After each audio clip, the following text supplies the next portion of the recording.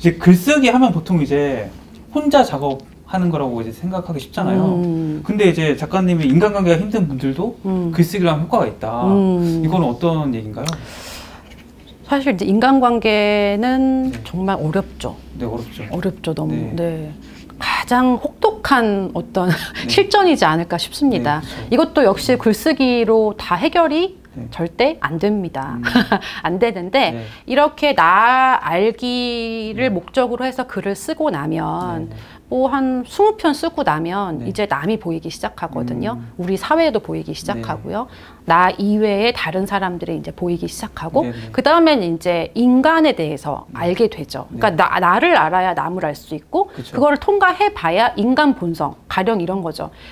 내가 스스로 이기적인 거는 봐줄만 한데 네. 타인이 이기적이라고 그러면 내가 약간 안 받으려고 해요 음, 그거를 음. 그쵸? 근데 원래 인간은 이기적이야 네. 그거 그쵸? 네. 이거 아는 게 되게 어려워요 사실은 음. 그 순간에 음. 저 사람도 충분히 자기 위해 자기 보호하기 위해서 이기적인 건데 네네. 그거를 못 보거든요. 그쵸, 못 네, 보죠. 못 보죠. 네. 순간 못 봐요. 네. 근데 집에 가서 후회하죠. 아 그럴 수 있는데라고. 맞아요, 맞아요, 예. 맞아요. 네. 그래서 이제 그런 과정들을 통해서 우리가 나를 먼저 알고 그 다음에 음. 아. 상대를 알고 그리고 인간의 본성을 알게 되면 그래도 인간관계에 도움이 되지 않나 음. 예, 그런 생각이 듭니다. 아니 글쓰기가 진짜 그 아까도 얘기했지만 자꾸 그 내가 경험했던 걸 다시 이제 재발견하게 해주는 이게 네. 효과가 크네요. 맞아요. 재발견, 재해석. 네, 네. 음. 이그 효과가 있어서 이런 이제 치유라든지 음. 아니면 내 어려움들을 이제 해결해주는 맞습니다. 그런 단계가 되는군요. 네. 어 아마 이 책을 보시는 분들이 좀 이제 나 어떻게 하면 좀 글 좀 써볼까 혹은 아니면 자존감이 좀 낮으신 분들이 많이 좀 음. 찾아볼 것 같아요. 음. 이분들을 위해서 음. 글쓰기로 하는 가, 자가치유법 아 자가치유법. 책에도 소개해 주셨지만 한번 음, 음. 더 자세하게 네, 풀어주실까요? 네, 네.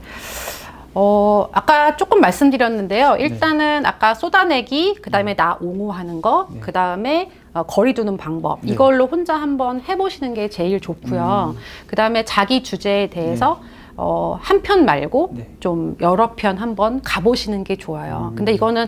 사실은 혼자 가는 게 어려우실 수 있거든요. 네, 네. 네, 이제 그럴 때는 여러분의 도움을 받을 수는 있는데요. 네, 네. 일단 저는 어, 우리 오은영 박사님 그러시잖아요. 양육의 기본은 네. 독립이다. 음, 마, 마, 마, 맞아요. 그죠, 그죠. 예. 근데 저도 마찬가지 생각해요. 읽기와 쓰기의 최종 목적은 독립이다. 독립. 네. 오, 그러니까 남에게 배워가지고 는안 되는 거 아시죠? 그쵸, 그쵸. 네. 네. 남이 읽으라는 거 읽었을 네. 때, 그 다음에 남이 어떻게 쓰라고 했을 때, 그게 내게 절대 안 아니, 아니죠, 되는데, 아니죠, 예. 네. 그래서 이제 그런 것들, 그래서 자가 치유를 하시는 방법으로서는 일단 저는 혼자 내 주제에 대해서 한번 꾸- 꾸준히 한번 써보시고, 음. 그 다음에 이제 강의를 들으시거나 네. 아니면은 그 저기 작법서들을 네, 이렇게 네. 보시는데 음. 거꾸로 하시는 분들이 계세요. 거꾸로 하면 어떻게 하는 거죠? 강의만 계속 아, 들으시는. 음.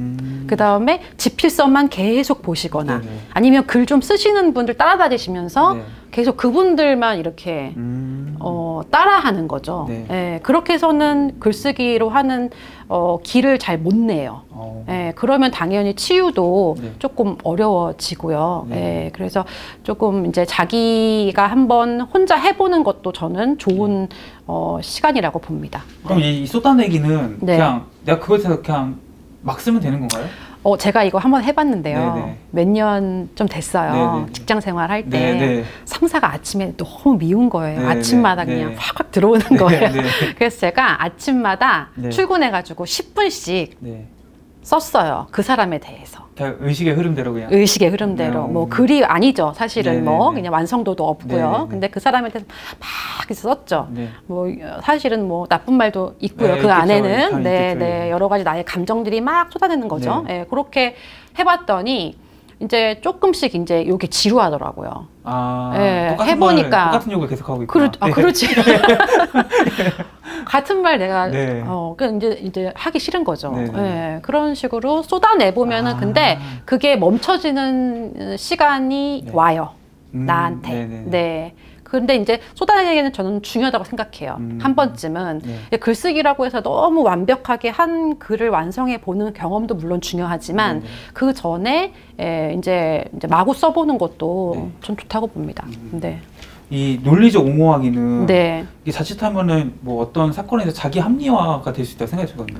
저는 합리화 해봐야 된다고 생각해요. 오, 네. 왜냐하면 내가 하고 싶은 말 다 하지 못하죠. 네. 사회생활 네, 하시면서? 네. 내가 아, 저거 아닌데. 예, 그리고 다른 사람을 100% 이해할 수 없듯이 네. 다른 사람이 나를 100% 이해 못 하거든요. 네, 예. 그러니까 그거 우리가 사실은 그런 억울한 일도 많고요. 네, 예, 그런 것들이 너무 많은데 어디다가 할 데가 없어요. 네. 그럼 저는 글로 한번 해보라고 해요. 음. 합리화도 해보고 네. 그냥 옹호도 해보는 거예요. 근데 이제 글을 쓰다 보면은 거기서 이제 보이죠. 네. 논리적으로 쓰다 보면은 네. 이제 아 이건 아니었네 이렇게 음. 예, 발견되기도 음. 하고요. 음. 예, 그렇게 저는 어, 충분히 네. 나 자신을 옹호해주고 어 너 잘했어, 어너 괜찮았어 그때, 어 너 사실은 그때 그랬잖아라고 말해주는 게 저는 네. 중요하다고 아. 생각해요. 음. 음. 그 치유하 치유하는 이제 글쓰기에서 작가님이 이제 뭐 강의를 들어보는 것이 괜찮다 음, 말씀하셨잖아요. 음. 그러면은 이게 어느 부분에 도움이 되는지 예를 들어서 쏟아내기 부분에서 음. 글을 좀 뭐 정돈이나 다듬어 주는 건지 음. 아니면은 뭐 논리적인 옹호 부분에서 음. 뭐좀 생각의 방향을 바꿔준다거나 음. 이런 걸 도와주는 건지 음. 강의를 듣는 건 이제 어느 부분에서 도움을 받을 수 있을까요? 어, 일단은 이제 강의기 때문에 네. 쏟아내기나 이제 네. 옹호, 옹호는 하세, 옹호는 옹호 글쓰기는 하세요. 네. 예, 근데 쏟아내기 글쓰기는 이제 강의에서는 많이 다루지는 않아요. 음. 예, 않고 이제 글쓰기 강의에서는 네. 자기만의 어, 의미를 만들어가는 거. 네. 그러니까 부모님의 사랑이 나한테 뭐였는지를 이렇게 발견하는 과정이라고 보시면 될 것 같아요. 음. 그래서 사실은 마지막 단계의 네. 것을 글쓰기 강의에서 많이 하는 편이긴 아, 해요. 마지막 단계. 네. 음. 음. 그러면은 보통 이제 쏟아내기와 논리적 옹호가 된 상태에서 이거를 음. 이제 다른 사람한테 보여줄 만한 글로 바꿔주는 작업을. 오, 해주시는 막 그쵸, 거죠? 그쵸, 맞습니다. 음. 네. 이제 뭐 모든 사람들의 마음에 갖겠지만 음. 이제 아 나 글쓰기 할 거야. 시간은 글쓰기 해볼래. 네, 네, 네. 하고서 이제 작심삼일로 끝나는 경우가 많잖아요. 네, 그쵸. 그 작가님은 거의 20년이 넘는 시간 동안 음, 글을 보시고 네. 글을 쓰시고 음. 글을 가르치고 계신데 음, 이 글쓰기를 지속하려면 어떻게 하면 될까요? 음. 작가님 어떻게 생각하세요? 저는 사실 글쓰기 지속하지 못하고 있어가지고 책을 네. 저보다 많이 내신 것 같은데. 그때만 했었습니다. 아, 그때만? 네, 네. 어. 평상시에는 잘 안 쓰고 아. 근데 뭐 어, 저도 음. 글을 뭐 매일 쓰지 않아요. 음. 예, 많이 매일 쓰는데 네. 근데 이제 중요한 거는 뭐냐면 네. 어, 내 주제를 갖고 있는 거죠. 음. 그러니까 지금 네. 작가님도 네. 자기 주제 성장이라는 키워드를 유튜브를 하시잖아요. 네, 네. 그럼 자기 주제 있는 사람이거든요. 네, 네, 글을 쓰고 안 쓰고의 중요한 게 아니라 네. 자기가 할 말을 있으면 돼요. 그거를 유튜브로 할 수도 있고 음. 블로그로 할 수도 있고 네. 인스타그램을 할 수도 있는 거잖아요. 네. 예, 그래서 어떤 형태는 그렇게 중요하지 않다라고 음. 저는 보고요. 일단은 음. 그래서 글쓰기를 하든 뭐 유튜브를 하든 지속성이 중요한데 네. 지속하려면 자기 주제를 갖는 게 좋아 아. 좋죠. 그래서 음. 저는 그거를 네. 대주제라고 이제 불러요. 음. 편하게 하려고 음, 네, 그래서 네. 선생님들 대주제 가시, 가지시는 게 네. 좋으시다. 음. 작가들 제가 이제 집 방문할 때가 있어요. 어, 네, 네. 네, 이제 가까워지거나 네, 아니면 네. 계약할 때 가기도 네. 하는데 네. 어, 작가들 서재를 이렇게 딱 보면은요. 네. 어, 크게 다양하게 읽는구나라는 음. 게 딱딱 보이고요. 네네. 그 다음에 굉장히 많은 부분에서 저 작가가 갖고 있는 대주제와 관련된 책들이 음. 굉장히 많습니다. 음. 네. 작가님 댁에 가도 아마 딱 보일걸요? 그렇죠? 네, 네. 뭐 책을 워낙 많이 읽으신 분이어가지고 다양한 책이 있겠지만 그래도 자기 대주제와 그쵸. 관련된 네, 책이 있죠. 많죠. 네, 네. 그것들을 읽어 나가니까요. 네, 네. 그래서 지속하는 방법은 음. 그렇다고 뭐 선생님 그러면은 저는 평생 주제 어떻게 갔나요? 평생까지는 아니어도 됩니다. 음. 네, 물론 작가들은 평생 주제 같죠. 어떤 분들은 굉장히 생명에 대한 주제를 물고 들어오시는 분들도 계시고요. 음, 그렇잖아요. 네, 어떤 분들은 네. 독서에 대한 거를 평생 하시는 분들도 계시거든요. 근데 우리 일반인 같은 경우는 그럴 필요 없어요. 그냥 한 1, 2년 정도. 음. 예, 그냥 갖고 있는 거예요. 갖고 있어야 네. 이제 그 주제를 가지고 갖고 있어야 지속적으로 할 수 있는 힘이 생겨요. 음. 음, 근데 주제를 왔다 갔다 하면 지속할 수가 없어요. 재미가 없거든요. 여러 편 써봐야 거기서 내 의미 발견하고 어, 여러 가지 한번 가보는 길이 나는데 음. 그냥 여러 가지 막 이렇게 썼다가 뭐 또 멈추고 이렇게 하는 것보다는. 네, 자기 대주제를 하나 갖는 게 좋다 이렇게 어. 말씀드리고 싶습니다. 그 작, 작가님 아까 그 회사에서 상사에 대한 글을 쓰실 때 아침마다 이제 정해놓고 쓰였다고 했잖아요. 음, 음, 이좀 루틴이 있으면 아무래도 지속적인 글쓰기에 도움이 될것 음. 같은데 네. 루틴을 만드는 좀 팁 같은 게 있을까요? 어, 요즘에 네. 아침 5시에 일어나는 게 아, 예. 유행이잖아요. 네, 유행이죠. 예. 네. 근데 저는 네. 그거를 이렇게 물론 어, 자기한테 맞으면 좋은 그쵸, 루틴이죠. 그쵸, 그쵸. 네. 예. 그러나 다른 사람들이 그걸 통해 성공했다고 해서 그쵸. 나에게 맞는 루틴은 아니거든요. 그렇죠, 그렇죠. 만약에 막 너무 훌륭한 뭐 칼세건의 코스모스가 있어. 네. 근데 어떤 분한테는 그 책이 너무 베스트인 책인데 그쵸. 그래서 막 이렇게 설파를 하시죠. 이책 너무 좋다. 근데 내가 보기에는 아니야. 그렇죠, 그렇죠. 맞아요. 그런 과감히 그거 안 읽어야 되거든요. 그쵸, 그쵸. 네, 근데 그럴 힘이 없어요. 그렇죠. 네, 외면하는 힘이 안 생기죠. 음. 근데 글을 조금 이제 쓰고 읽으시는 분들은 그거 외면할 수 있어요. 어. 어, 저건 내 거 아니지. 네. 그리고 이제 조금 보면은 어 이거 괜찮다. 네. 내 안목이 네, 생기는 그쵸. 거잖아요. 그러니까 내 안목을 위해서 어, 우리가 해야 될 일은 루틴도 음. 네, 내 거에 맞는 거를 찾는 게 제일 중요하다고 생각해요. 어. 제가 얼마 전에 어떤 방송을 봤는데 네, 네. 그 천재들이 어떻게 하루를 보내냐 네. 이거를 봤어요. 네. 정재승 네, 네, 네, 네. 그 씨가 네. 이렇게 보여줬는데요. 어떤 그 천재는 네. 아침에 잠깐 일해요. 아, 네. 근데 천재야. 결과물이 너무 좋아. 아. 아, 그리고 어떤 사람은 일을 되게 열심히 해. 네. 하루 종일 막 네. 일만 하고. 네. 어떤 분은 새벽에 주로 하고. 네. 어떤 분들은 밤에 주로 한다. 네. 그러면 우리가 아침에 하는 게 좋다라고 말하기도 어렵고.